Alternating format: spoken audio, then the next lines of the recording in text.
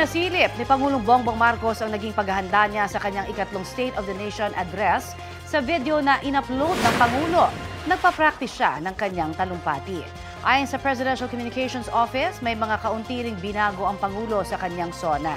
Sa impounding process ceremony ng Upper Wawa Dam Project sa Rizal noong July 10, ibinahagi ng Pangulo ang ilang tatalakayin niya sa SONA mamaya. Kasama rin o riyan ang pagsugpo sa droga at mga issue sa seguridad ng Pilipinas.